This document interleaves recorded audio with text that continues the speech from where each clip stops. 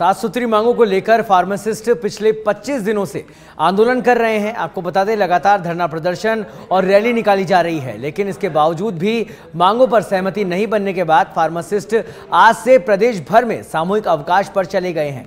आज एसएमएस के सामने फार्मासिस्टों ने जमकर नारेबाजी की और चेतावनी दी कि अगर उनकी मांगे नहीं मानी गई तो आंदोलन आगे भी जारी रहेगा। अस्पताल में विरोध कर रहे हैं फार्मासिस्टों से बात की हमारे संवाददाता सतवीर सिंह राठौड़ देखिए, आंदोलन की राह पर फार्मासिस्ट हैं और लगातार अपनी मांगों को लेकर 25 दिन हो चुके हैं, लेकिन इसके बावजूद भी अभी तक कोई भी वार्ता का जो न्योता है वो नहीं मिला। और आज उन्होंने कार्य का बहिष्कार कर दिया है। ऐसे में अब जो व्यवस्था है वो भी अब बिगड़ने वाली है और अभी बड़ी संख्या में जो फार्मासिस्ट हैं वो अभी सुप्रीडेंट के जो ऑफ़िस है, वहाँ पर बाहर डटे हुए हैं और जमकर जो नारेबाजी है वो यहाँ पर की जा रही है। मैं अपने कैमरा पर्सन हेमंत से कहूँगा, एक बार तस्वीरें यहाँ पर दिखा देगी किस तरीके से बड़ी संख्या में जो यहाँ पर फार्मासिस्ट हैं वो यहाँ पर जमकर जो नाराबाजी कर रहे कर रहे हैं और उन्होंने साफ़ तौर पर चेतावनी दी है कि अगर उनकी जो मांग है वो पूरी नहीं होगी तो उनका जो आंदोलन है वो लगातार जारी रहेगा।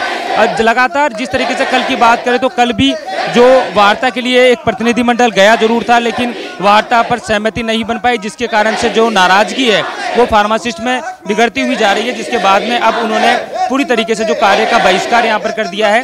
ऐसे में जो गुस्सा है, वो यहाँ पर देखने को मिल रहा है और पूरी तरीके से फार्मासिस्ट ने चेतावनी दी है कि वो अब आंदोलन की राह पकड़ चुके हैं और आगे आने वाले समय के अंदर पूरी तरीके से, इस तरीके से चलता रहेगा। उन्होंने जो ये भी चेतावनी दी है कि इनका जो आंदोलन है, वो आगे भी चलेगा। हम बात भी करने की कोशिश करते हैं, क्या वार्ता के लिए कोई प्रतिनिधिमंडल गया था? कुछ वार्ता बनी? सहमति क्यों नहीं बन पा रही आखिर? क्योंकि आपका पच्चीस दिन हो गए आंदोलन करते हुए। इक्कीस अगस्त से हमने सरकार के समक्ष ध्यान आकर्षण कार्यक्रम रखा था।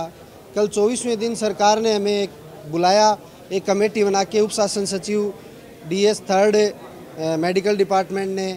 उसमें निदेशक साहब भी थे, डायरेक्टर पीएच साहब भी थे और वित्त विभाग का जो प्रतिनिधि था वो वहाँ पर उपस्थित नहीं रहे।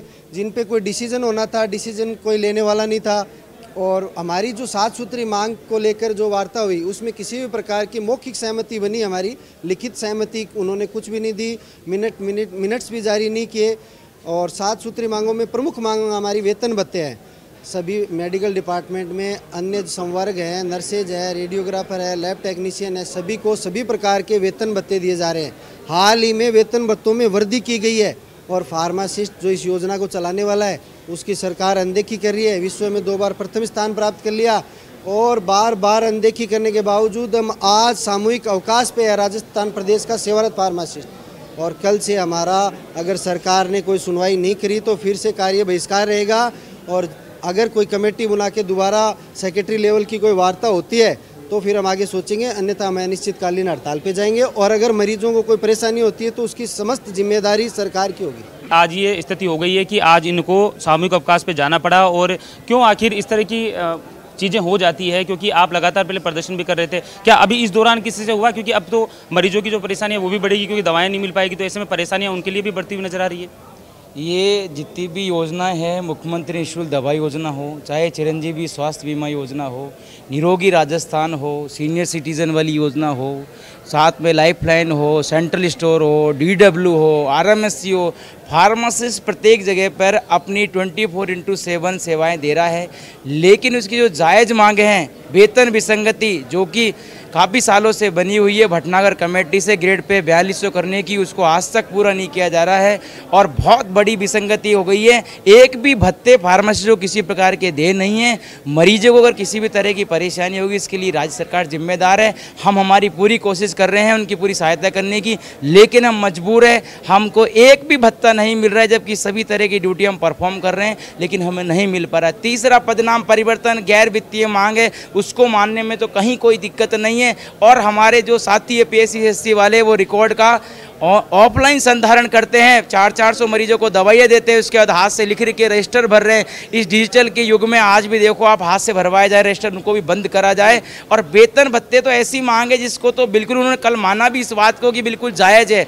लेकिन लिखित आदेश करने पर जारी नहीं है। अडा गवर्नमेंट उनकी तरफ़ से, हमारे तरफ़ से बिल्कुल खुले हैं। वार्ता के लिए आज ही बुलाया जाता है। DOP secretary level finance secretary level की वार्ता होगी। हम जाने को तैयार हैं, क्योंकि वार्ता से ही समाधान निकलेगा। बिल्कुल। देखिए, वार्ता से ही समाधान यहाँ पर निकलेगा। जाएगा लेकिन फ़िलहाल वेतन विसंगति सहित जो सात सूत्रीय जो इनकी मांगे हैं, उसको लेकर जो विरोध और प्रदर्शन लगातार किया जा रहा था, पच्चीस दिन हो चुके थे, लेकिन इसके बावजूद भी इनकी जो मांगों पर कोई विचार नहीं किया गया, जिसके बाद में आज इन्होंने सामूहिक जो अवकाश है वो ले लिया है। लेकिन अब मान सकते हैं कि इनका जो आंदोलन है वो आगे भी जारी रहेगा, जिस तरीके से इन्होंने चेतावनी दी है, लेकिन ऐसे में मरीजों की परेशानी भी बढ़ने वाली है।